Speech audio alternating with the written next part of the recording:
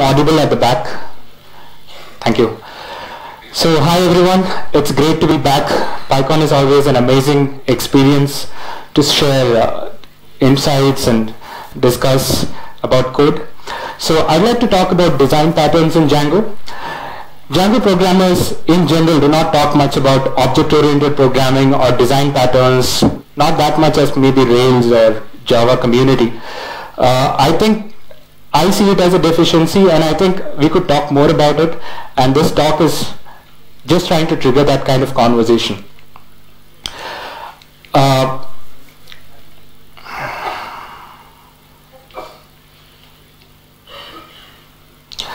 Hi, my name is Arun Ravindran. I blog and I have screencasts uh, posted at arunrocks.com. I recently open sourced a project called Edge, which is a project template for Django. Uh, what you see down there is a shameless uh, self-promotion. I'm actually writing a book about Django design patterns and best practices. Uh, it will cover al almost 40 to 50 uh, design patterns and best practices uh, covering Django 1.7 and it will be published by PacktPub by the end of this year.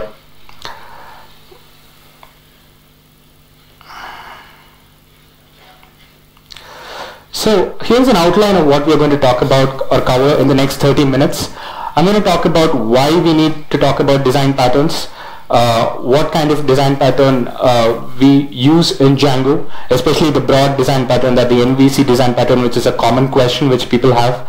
Uh, we're going to cover about nine common design patterns in Django. There's going to be a lot of code. These slides are going to be uploaded online, especially on the talk page, so don't worry about that. And uh, we are going to discuss about the code as well. So we'll have fun. So this definition of uh, design patterns might be familiar to some of us. Design patterns is basically a reusable solution that can be applied based on the context for a software problem. Interestingly, it's not starting with software that design patterns actually started with, right? So around in 1977, Christopher uh, Wolfgang uh, Alexander collaborated with other architects to write a book called A Pattern Language Towns, Buildings and Construction. So he, he's an architect in the traditional sense, not the software sense. And he wrote a book which covers about 253 different patterns. And uh, when, he, when I say patterns, he's actually talking about a, a certain problem which commonly occurs in the field of architecture and a solution uh, in terms of what is a practical solution to that. So this book was a little bit controversial because uh, in his opinion, uh, users should be the best judge about what a good solution is, not an architect. So uh, this practice or this idea has slowly creeped onto the software world as well.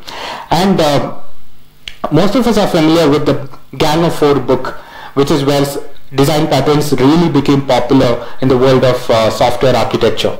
So uh, that is not the only book about design patterns. There have been several other books about uh, design patterns such as Martin Fowler's book on architecture, uh, enterprise architecture patterns, refactoring into patterns, and several other books which are actually which are considered as pattern repositories. They contain a lot of uh, patterns in the form of uh, re easily reusable collections. So some of us might be wondering when we are talking about web application development, there are hundreds of things to worry about, especially when we are talking about a production application, right? There's database design, there's web design, there is sharding, there is caching, thousands of concerns. And now here's a guy who's telling that, you know, you should also think about design. And you really don't have time for the most elegant design, right? I mean, you're just trying to ship code at the end of the day. And users don't look under the hood. They don't care about how it's implemented. But who cares? We care, right? We as programmers really worry about what the best solution is. So some of us have this deep inner desire to create elegant and beautiful code. We actually want to see solutions which are most attractive or most uh, you know elegant in terms of uh, how it's implemented, how it's reusable and how it can be maintained. Again, if you learn one design pattern, you can apply it to various different projects. They're repeatable solutions. It gives us a common language to talk about. If somebody says, hey, I did this implementation using publish subscribe pattern, he actually saved 15 minutes of explanation. He doesn't have to tell, okay, there is this sender and there are multiple receivers listening to that and he, you have to send messages to all that. All that conversation is eliminated and the person at the other end immediately understands, oh, publish subscribe pattern. I understand what you're talking about reduces trial and error. This is very important. So some of us actually obsess over, you know, what is the best solution or, you know, whether solution A is better than solution B. We go through Stack Overflow, we go ask our friends, we ask IRC, hey, you know what, it actually works, but I'm not really sure whether this is the right way to do it or am I doing this right kind of questions. And most importantly, it formalizes best practices. So if you know the Django design philosophy, a lot of practices which are imbibed into it have been articulated in the documentation. They actually say dry, write dry code, right? Do not repeat yourself. Uh, always follow separation of concerns. Use solid object-oriented principles. So this is not, the last one is actually not mentioned, but single responsibility principle, Liskov substitution principle, all these concepts are very well known to people who practice object-oriented programming, but it's actually not well articulated in the Django community, but it's actually used as we'll soon see inside Django. So now here's a common refrain that we'll hear among Python programmers. They say, you know, design patterns, hey, Python is an object is an object-oriented language and a scripting language. We don't really need to use design patterns, right? But that's not really true. As you can see in the slide, there are a lot of design patterns that's used in the implementation of Django itself. Now before we talk about this, how many of you in the audience actually know what an abstract factory pattern is? Just raise your hands. Have you used it? Okay. How many of you know a singleton pattern? Great. So sorry to disappoint you, singleton pattern is now considered an anti-pattern.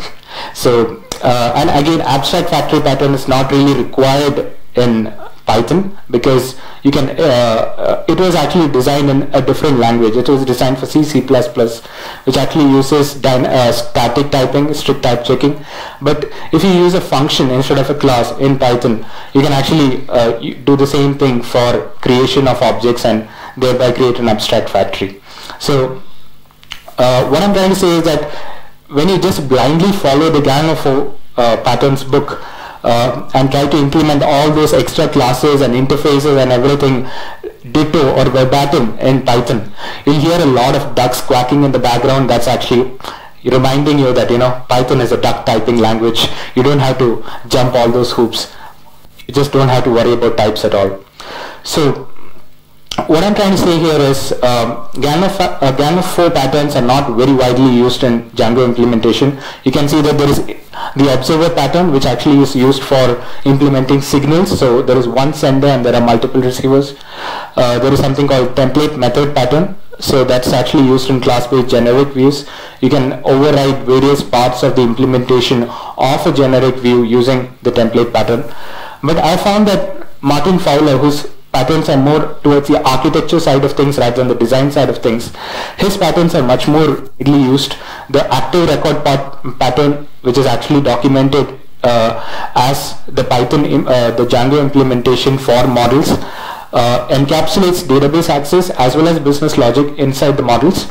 Uh, we also see the identity field pattern, which is quite straightforward, which is basically storing the ID. We also see the template view, which is nothing but Django templates. So as you can see the Django implementation or reading the source code of Django helps you understand various patterns which are used. Of course, if you have that background of what context we are talking about, you'll immediately recognize this is the pattern we are using here. This is a very common question I come across. Many people ask me this, uh, does Django follow the MVC pattern or hey, uh, the developers of Django say that we are not using MVC, we are using, using something called MTV. So the reason behind this is MVC is easily misunderstood, right? MVC actually, if you look at the history of MVC, it actually comes from Smalltalk, which used uh, MVC for its GUI graphical user interface. And that's where all these concepts of controllers and models and views come from, which is completely different in the world of web application development, right? So we don't have, uh, you know, mouse and keyboard and all those kind of things, but we have something called a request response cycle, which is happening inside a web application. So the creators of Django felt that you know the entire Django application or the uh, framework can be divided into models, templates and views. So what we are trying to say here is MVC is nothing but separation of concerns implemented. Now MTV is also a case of separation of concerns implemented.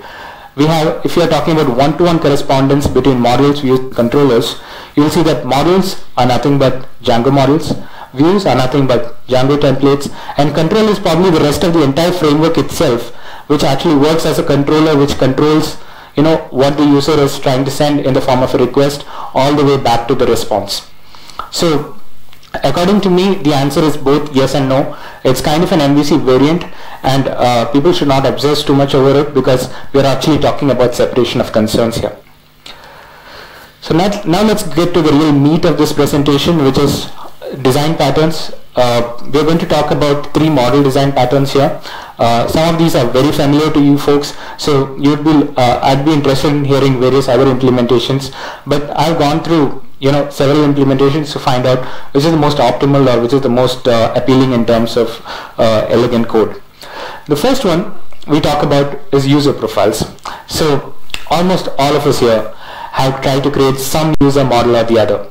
Unfortunately, all of us think that since Django's custom user model was released in I believe Django 1.6 uh, all we have to do is you know just extend the custom user model add you know the user preferences their favorite color to their pet's name to their uh, you know relationship status everything.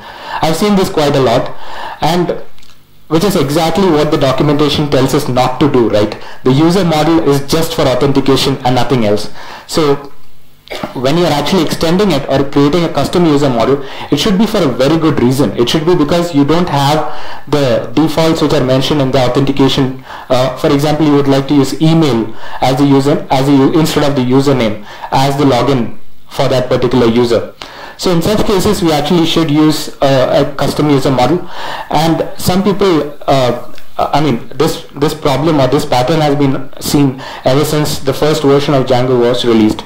So there have been a lot of solutions online, and this is another problem with design patterns. So if you ask uh, how, what is the right way to do X in Django, uh, the solution depends on uh, what version you are using. So immediately you'll get the question, okay, which version of Django are you using? Are you using 1.6 or 1.7 or you know the about to be released 1.8? So the answer actually varies based on which version of Django you're using. And there have been various solutions like uh, concrete inheritance. So uh, I don't know why people still use concrete inheritance or why it's still there in the docu documentation. For me, it's like, you know, uh, uh, an Indian KFC with veg burger. Nobody knows why it's there in the menu, but it's there in the menu, you know. So concrete inheritance is not really a good solution because it involves a lot of extra database lookups and at the end of the day, you'll probably replace it anyway. So what is the recommended solution? The recommended solution is very simple. The documentation tells you what to do. Just create a user profile model with a one-to-one -one mapping with your user model. But that's all the documentation tells you. I mean, it doesn't tell you how to implement it or whatever problems you'll face in or whatever steps you'll face in actually implementing it. That's what we're going to talk about right now. So if you talk in terms of steps, the most obvious step is to create a user profile model which has a one-to-one -one correspondence with your user model. Now again notice that we are using the auth user model setting from the settings. Uh, this is because the custom user model was introduced and we're also going to say primary key equals true. This is strictly not required but this prevents a lot of concurrency issues when you're using the PostgreSQL database. Uh, so uh, it's not a, it's a harmless thing. It's I would recommend to put it in there.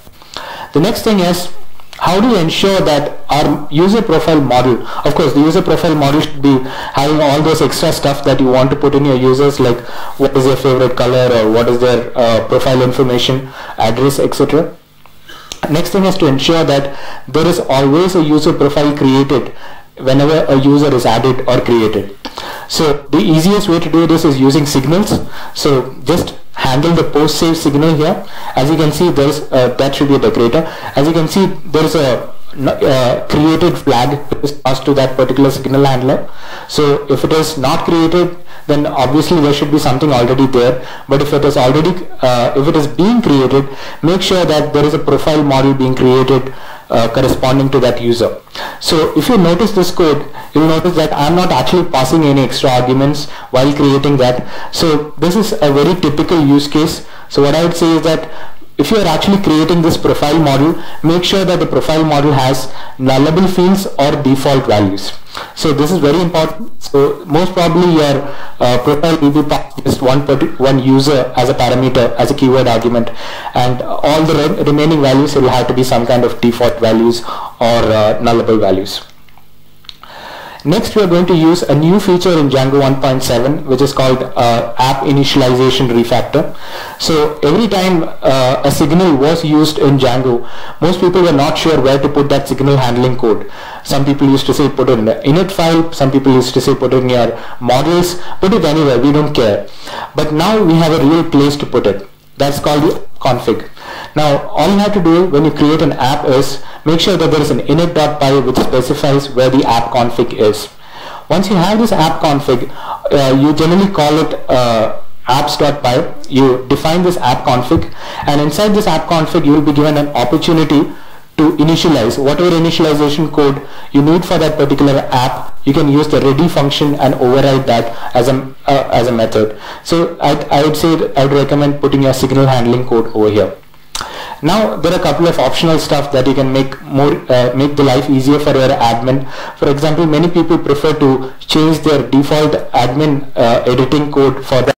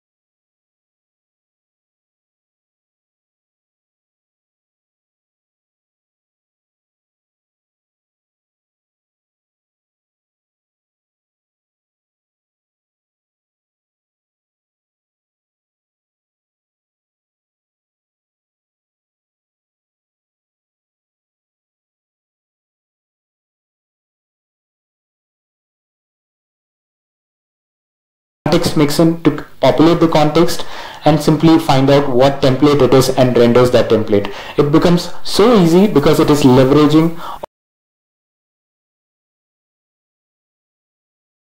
Now, what is what is mixin actually? Mixin is actually multiple inheritance, which is not found in many other languages, right? Python is unique in that sense that we have multiple inheritance. But many people ask this question: Isn't there uh, uh, isn't there an adage or a saying that composition should be favored in terms of inheritance? I would say it is true, but actually you get the best of both worlds because even though mixins are technically inheritance, you actually are able to use the features of composition because if you look at template view, uh, it's a derived class. It's actually a type of view, but it's also getting all the compositional advantages of uh, aggregating all the methods and uh, uh attributes into one single class. So it's actually the uh, crisp example of you know how we can compose as well as inherit uh, without having the disadvantages of both. Now, you uh, the reason I uh, explain more about this is because it's not just in views. Django uses mixins also in models, forms, what have you not. So it's kind of like a must-go kind of an implementation right now. Coming back to context enhancer pattern, so several views, like I said, need to use the same uh, query set over and over again or some some variable which has to be defined in various uh, uh, query uh, in various templates just because you are going to reuse that same uh, thing again and again. The recommended view of you doing this is overriding the get context data because context mixin is used for most of the generic views. But you can't do this everywhere right? You can't copy paste it everywhere. It's not just dry enough what I would recommend is to use a view mixin now view mixin actually does the same thing but it can be inherited. So it, you can use the get context data. If you have a public feed variable which needs to be there in every view, just define it, just um, you know call the superclass first and just define that particular variable and return that context. Now all you have to do is whichever view you, you need this particular feed, you just have to derive feed mixin, add that to your base classes. So the way you uh, MRO or method resolution order is the most confusing bit of using a mixin, but it's actually quite easy. Just include your mixin at the beginning and just put your base class at the end and you're all set. So people who are fans of Monty Python might recognize this. There are people uh, who actually create websites which uh, I mean, this is a very common requirement in which there are views which should be public, there are views which should be accessible for particular users, and unlike the knight, you need to access, uh, you need to let people give access, right? So things have changed in the world of uh, Django when it comes to class-based views. The previous implementation was to use a decorator. Most of us have, are familiar with this decorator, login required. You just use that for a function-based view. You just wrap the entire function in a decorator but this is not very nuanced, right? What happens in a decorator is it takes a function, it just wraps that function inside and it's able to do something uh, before a function is called and after a function is called. It's not able to do anything in between. But it's a little more nuanced when it comes to mixins. You can actually use something called a method decorator, which actually in, is invoked for a particular method. And uh, in the case of login required this is the equivalent code for class-based views. You can actually use you can um, wrap dispatch uh, method for method-based decorator. And all you have to do is derive from this particular thing. So this is uh, all these kind of uh, design patterns are incorporated in a package called Django Braces. Many of us are familiar with this. And Django Braces actually has a built-in login required mixin, so you don't have to reinvent the wheel every time. Now we come to very simple patterns which are common in templates but surprisingly less used.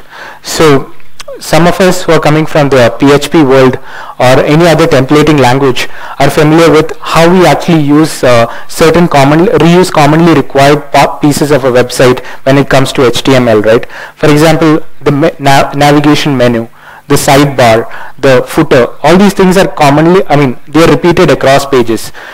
In other templating language, what we typically do is called the include uh, syntax in which we actually include pieces of code which are reused across.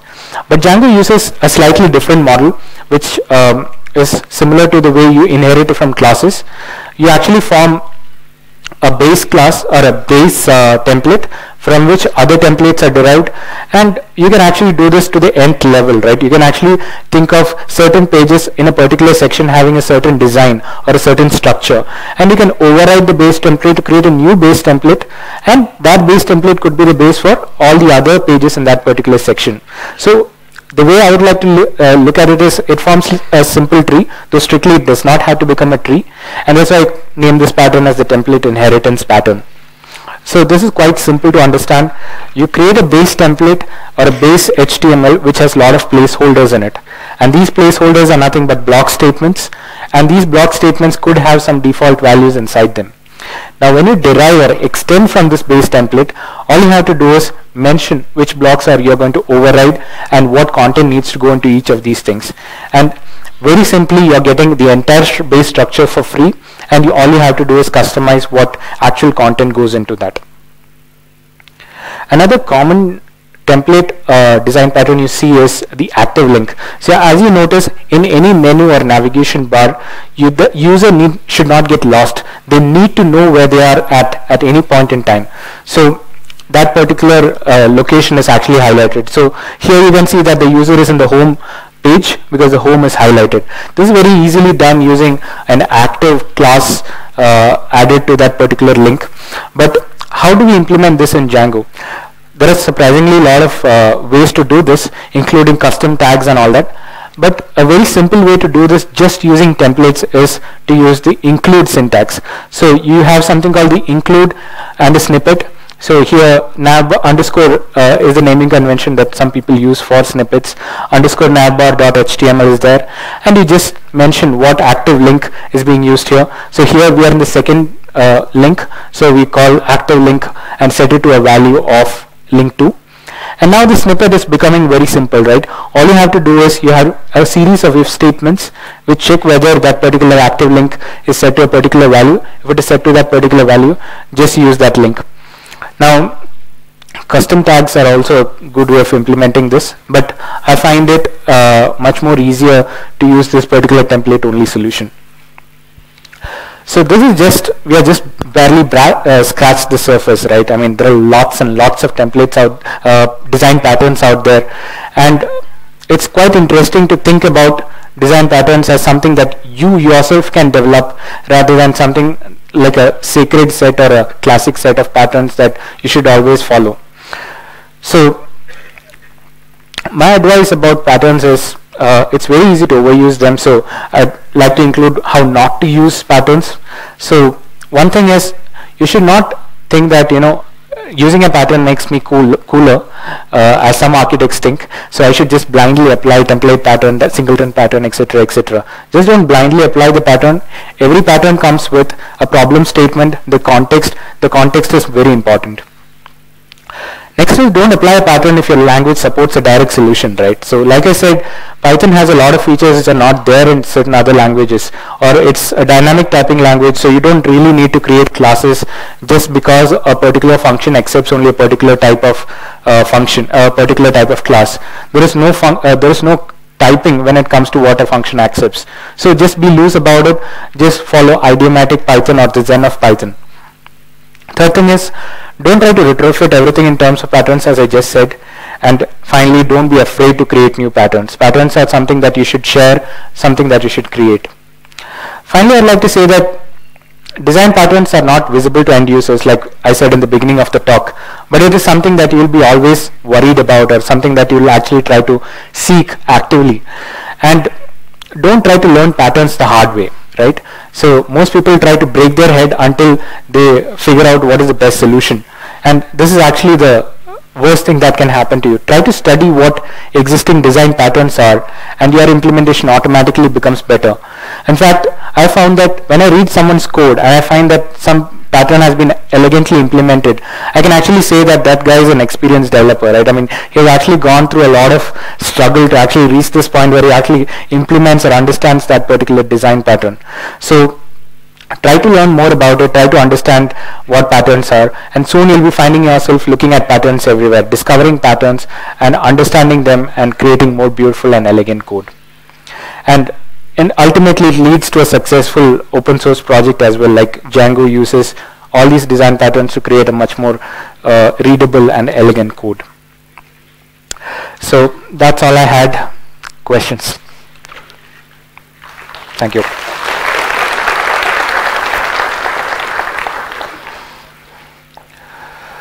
I think one of the volunteers would come to you. Uh, just raise your hands if you have a question.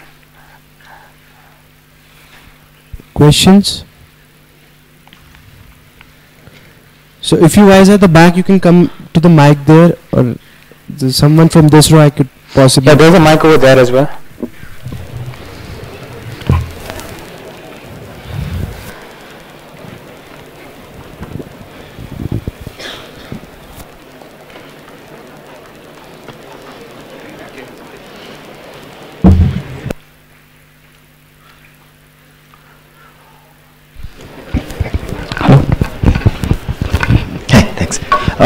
Sanjay. Uh, just a quick question around the user profile thing. I just want to understand uh, now that we can do the uh, extend custom user profiles, why, just the reasoning behind not putting relationship status in like why would you still create a separate user profile model? Can you just explain the reasoning behind it? I know you said, oh, it's not recommended, but can you explain why?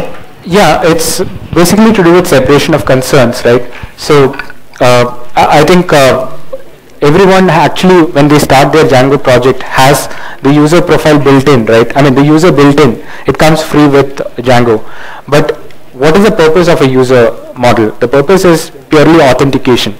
It's just to ensure that that particular user has the bare necessary details uh, just to ensure that that person can log in to that site or uh, you know use an authentication mechanism to get into that site.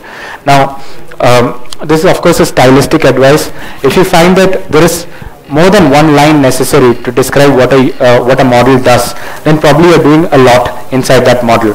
So when you say that a user model is being used for authentication and user profile and something else, it means that probably you should think about refactoring that particular model into more separation of concerns. So user profile pattern is basically to you know separate that neatly.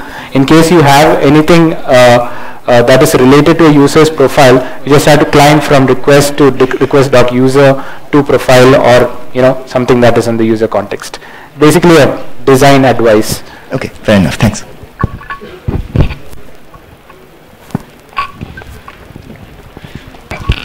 Hi, my uh, my name is Rajkumar. Uh, I'm from uh, uh I'm from uh, mechanical engineering, so I'm completely out of all these fields, but I started Django last year when I got uh, interested on the web application design.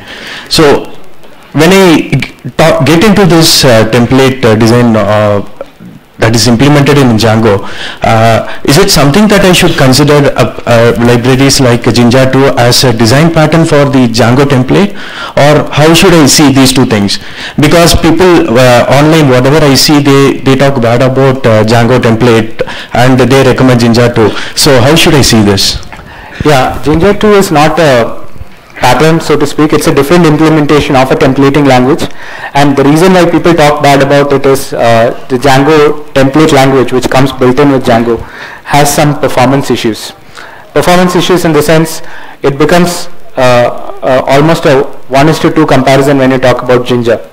And another reason is because uh, it's a very strict uh, templating language. It does not allow you to include Python code in it.